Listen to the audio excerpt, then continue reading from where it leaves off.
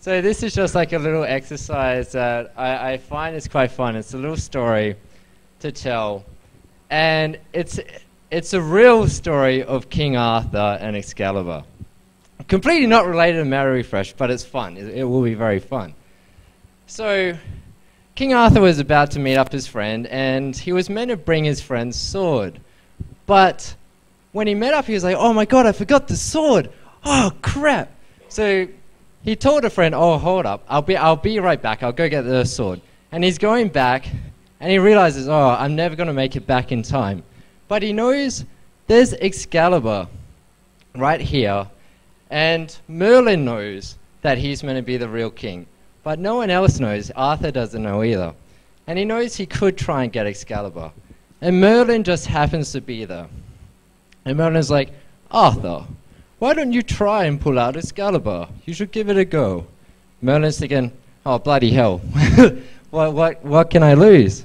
So he, he's standing here and he's about to go grab Excalibur, but he, he, he, he, he, he, he, he, he, just starts he, he, he, he, he, he, hesitating. And Merlin's thinking, oh crap, he, he's got to be able to move on from that. He can't just stay there in this point of hesitation.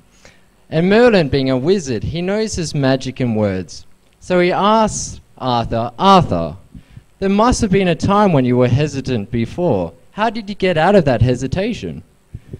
And going back, and Arthur's thinking, hmm, what got me out of that? I know, I know, Merlin.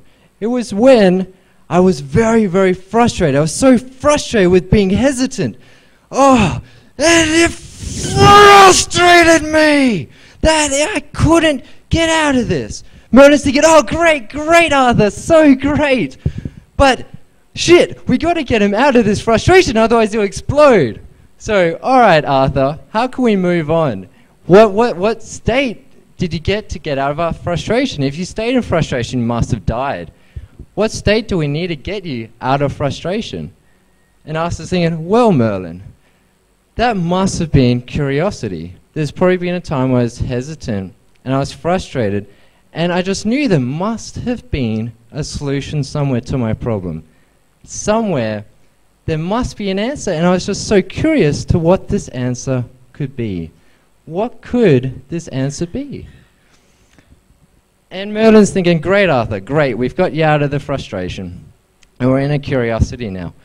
But how did you get out of that curiosity? What was the next state along the line? So, Arthur, what was the state? Arthur thinking, oh, I know it, Merlin, I know.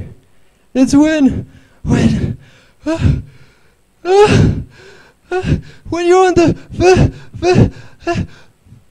verge when you're just about to sneeze.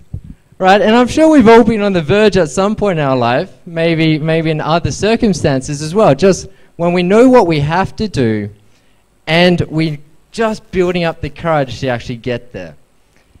And he knows. Merlin says, All right, Arthur, how can we get out of this state? What's the next state along this chain? And Arthur's thinking, All right, all right, I know what the next state is when I was curious and on the verge of knowing what exactly happened, I had to build up enough motivation. And I entered just this state where it's just so, so motivated to actually get it done, to be able to do this. And Merlin's saying, great, great, Arthur. Now start again. Let's move this along. When you're in that state, that state of hesit hesitation, and then you enter that state of frustration with that hesitation. And then you enter that state of curiosity where you knew there were solutions everywhere. There were solutions everywhere, under every rock, beneath every butterfly as well. Just solutions everywhere. And then you knew what you had to do. You found what you had to do.